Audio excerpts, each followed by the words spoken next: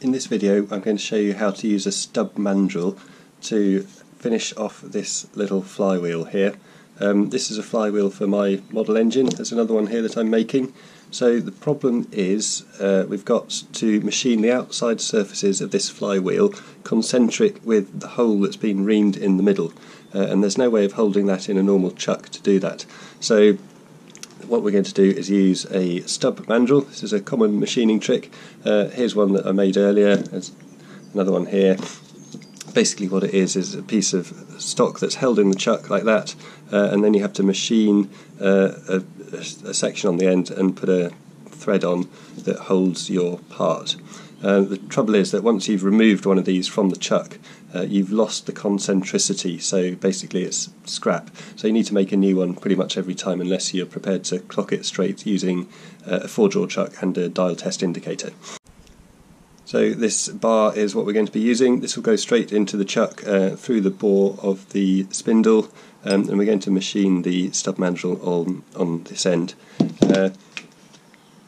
We're going to be using the tailstock die holder with a 6mm metric die in it uh, and to machine the stub mandrel just using a normal turning and facing tool and we need one which has got a pretty sharp point in there to get into the corner of the piece like that.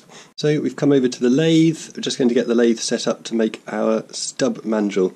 First thing we're going to do is stick the tailstock die holder into the tailstock. Don't need that just yet so I'll slide that out of the way.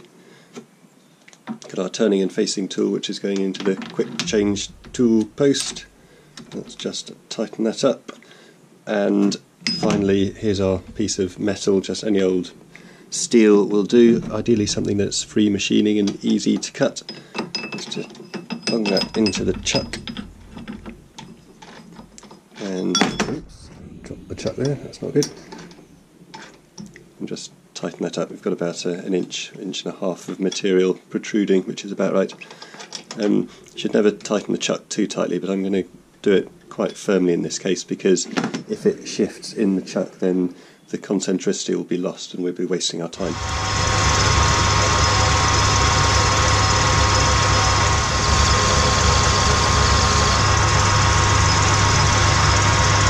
Probably about as long as we need for this particular job, so I'm just going to turn that down to just shy of the 6mm diameter.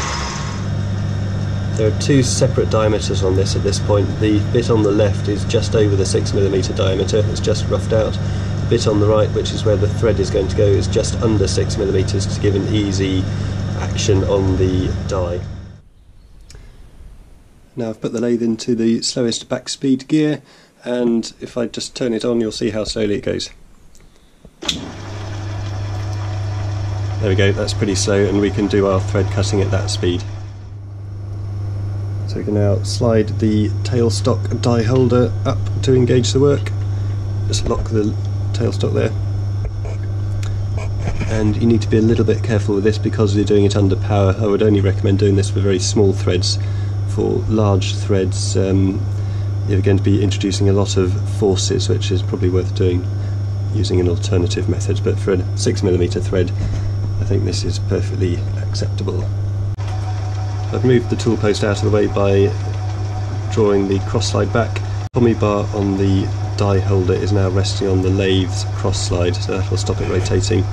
And I'm just going to wind on the tailstock feed.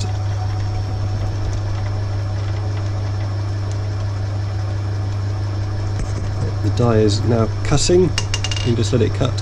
I've just released the carriage lock, which I should have done earlier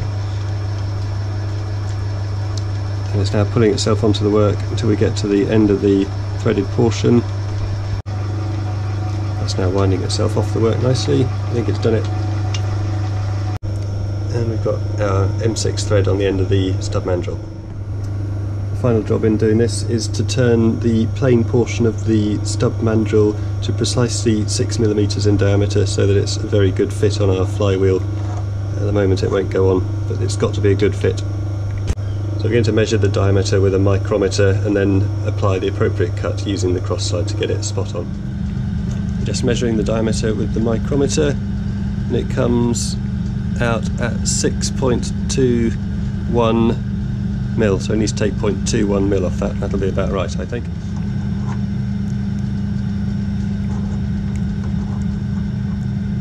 That's pretty good. Virtually shake-free fit, that's close enough. So my lovely stub mandrel is now ready to go. So what I've got, I put the flywheel on, an M6 nut which goes on there, should get a washer actually, I'll dig one out in a minute. But just to show you how it works, I'll put that on there. Got a box spanner, is that called a box spanner? So tighten it up. What we need to be very careful here is that we don't disturb the thing in the chuck, so don't do it too tight. So now we're up and running and we can machine the right hand face and the outer diameter concentric and square with the bore of our flywheel. And that is how the stub mandrel works.